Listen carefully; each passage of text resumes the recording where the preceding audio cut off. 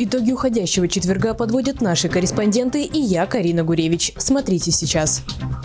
Громкие назначения у президента «Кадровый четверг». Я почти в таком возрасте стал президентом. Что значит молодой? Время сейчас такое. Спрессовано, бегать надо. Кто получил новый портфель? Мужественный поступок. Сотрудник МЧС из Бобруйска спас женщину от насильника. Девушка была в истерике, от, ну, говорила парню «отстань от меня». Какую награду получил герой? Медальный улов. Местные инвопловцы привезли 44 награды с чемпионата Беларуси. Добились того, чтобы Кубок Республики Беларусь впервые в истории страны провели у нас в Бобруйске. Когда старт? а также международные наблюдатели, транспортный коллапс и союзная решимость. Совместное белорусско-российское учение перешло в активную фазу.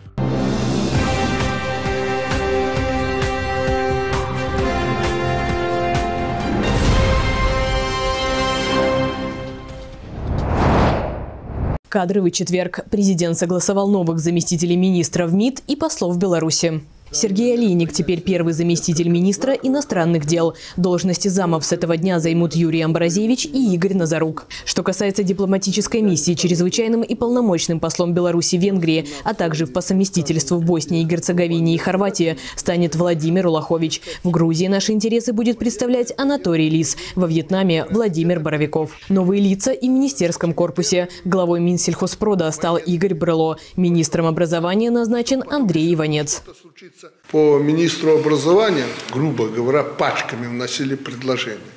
Пока, наконец-то, наверное, и глава администрации почувствовал, что это уже предел, сколько можно. Ну и мне кажется, что мы не ошибаемся в данном да, плане.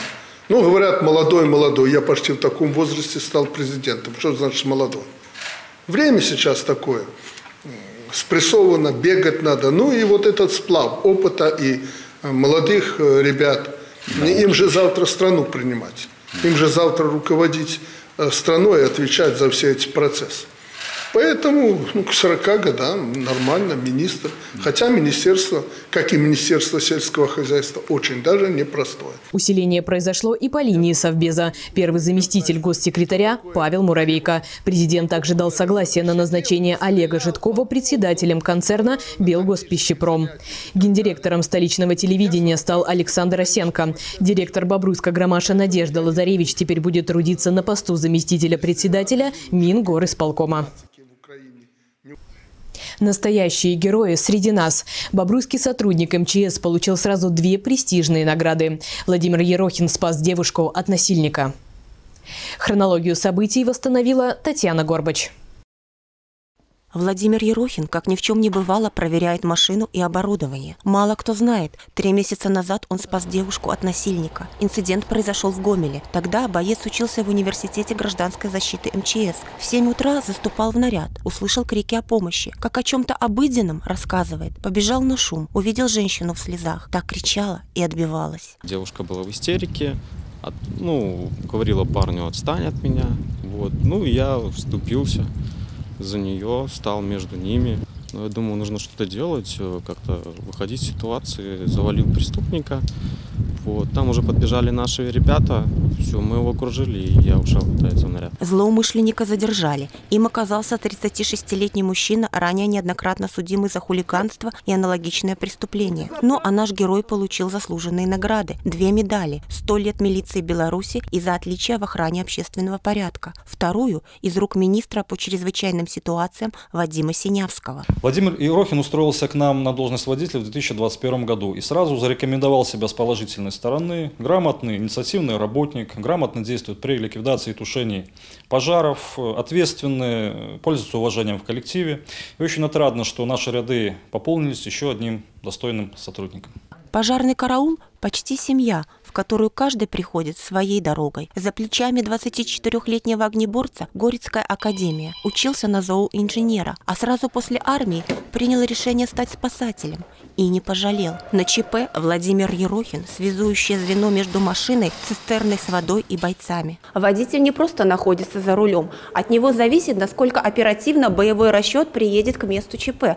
На счету каждая секунда. Плюс нужно продумать возможные варианты подъезда и обеспечить бесперебойную подачу воды или пены. На вопрос, страшно ли рисковать жизнью и вступить в схватку с преступником, молодой человек лишь пожимает плечами и отмечает, сотрудники МЧС изо дня в день выносят людей из самого пекла. А здесь, говорит, обычная ситуация. Девушка попросила о помощи. Как не откликнуться? Глядя на таких настоящих мужчин, понимаешь, спасатель – это не просто работа, а призвание и образ жизни. Татьяна Горбач, Максим Галеонко, Бобруйск 360. Отечественные санатории, совместные учения и цена золота. Белорусские чемпионы и призеры Олимпиады 2022 помогут детским спортивным учреждениям. Как? Громкие заголовки дня далее в специальном обзоре. На референдум по Конституции аккредитованы 77 международных наблюдателей, 43 представляют миссию от СНГ. Также по два человека направлены от Центра избиркомов Армении, России и Таджикистана. Досрочное голосование, напомним, начнется 22 февраля. Основное пройдет 27 числа. На границе Беларуси и ЕС стоят порядка 5000 фур. Самым проблемным, несмотря на возобновление работы таможенных систем, остается выезд в Литву. Там скопилось около 3000 большегрузов. Сложившаяся ситуация грозит коллапсом бизнесу, который занимается поставками товаров. Без особых задержек грузовой транспорт оформляет только латвийская сторона. Совместное белорусско-российское учение перешло в активную фазу. В страну прибыли российские военные с Дальнего Востока. Площадками для союзной решимости стали 5 полигонов и 4 аэродрома. Маневры сугубо оборонительные и не несут никакой угрозы для соседей. Это неоднократно подчеркивали Минск и Москва. Беларусь нарастила экспорт медуслуг за год плюс 20%. В итоге показатель 2021 превысил 40 миллионов долларов. География 140 государств. Чаще других у нас проходит обследование и лечение граждане России, Украины, Казахстана, Израиля и стран ЕС. Также от COVID-19 в нашей республике привели свыше 2,5 тысяч иностранцев. Белорусские чемпионы и призеры Олимпиады 2022 поддержат детей. Каждый выберет специализированное учреждение, а президентский спортивный клуб окажет безвозмездную финансовую помощь. Сумма традиционно будет зависеть напрямую от пробы медали – 25 тысяч рублей за золото, за второе место 20 и 15 за бронзовую награду. Глыбы изо льда. В Бобруйске на временные полигоны ежедневно сгружают свыше 400 кубометров снега. Для его складирования предусмотрены три территории – в Киселевичах, на энергетиков и в районе поселка Титовка. Ольга Васенда знает, ждать ли осадки весной. Нынешняя зима удивляла белорусов погодными качелями. Совсем недавно на страну обрушился циклон Эльза. От ветра пострадали машины, здания и даже люди. Следом пришла метель, хоть и не такая сильная, как в прошлом году. Однако только за январь в республике выпало 69 миллиметров осадков. Дорожная служба круглосуточно работала в усиленном режиме. Для уборки снега задействовали спецтехнику. Особенно сильно снегом завалило именно Могилевскую область. 83 миллиметра осадков осадков. Это в два раза превышает климатическую норму. Сейчас погода больше напоминает весну. На градуснике 4 выше нуля. Между тем работу никто не отменял. На временной площадке складирования снега в районе поселка Титовка трудятся специалисты. Осадки сюда свозят с улиц, парковок, подмостков, остановок и автозаправок. Место выбрано не случайно. Здесь оптимальный рельеф и отсутствие залегающих грунтовых вод. Важный аспект – удаленность от жилой зоны. По завершению зимнего периода. На данной площадке должна быть проведена уборка всех отходов, затем должно быть проведено и измерение э, проб почвы с целью выявления возможного загрязнения земли. И в случае наличия такого загрязнения должна быть осуществлена рекультивация нарушенного участка земель. Помимо этого используют еще две площадки – в Киселевичах и на энергетиков. Их утвердил горосполком. На последние большегрузы ежедневно сгружают порядка 400 кубометров снега. Территория не просто голый пустырь, объект находится под круглосуточной охраной. Это исключает, например, разгрузку мусора или песка. Ездят только наши кубдептопсы с Кубдепа. А другие фирмы только если по талону. Ну, вот сегодня было вот пока два МАЗа 20-тонники. Ну и наш МТЗ-трактор с прицепом. Ну пока все больше. Вот только если ездят два Маза вот постоянно, часто они уже по три рейса сделали по талону. Синоптики говорят, зима свое еще наверстает. Снег, если верить прогнозам, ожидается аж до конца марта. Это значит, что небольшие горы на пустырях могут значительно увеличиться в объемах. Ольга Васенда, Максим Галеонко, Бобруйск, 360. Температурные контрасты влияют и на ситуацию на водоемах. Из-за перепадов с минуса на плюс лед становится менее прочным и неоднородным.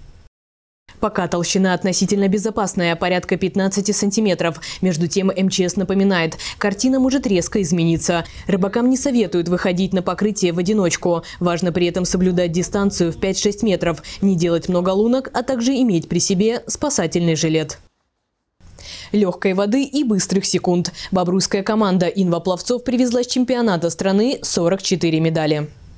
По традиции спортсмены сражались за награды на дистанциях 50, 100, 200 и 400 метров разными стилями. Борьба развернулась нешуточная. Вместе с белорусами в чемпионате состязались представители Молдовы, Турции и Азербайджана. Разыгрывалось 172 медали. На кону выход в национальную сборную, а далее и на состязания мирового уровня. Выше всяких похвал выступили бобруйчане. Все воспитанники Родиона Синицына.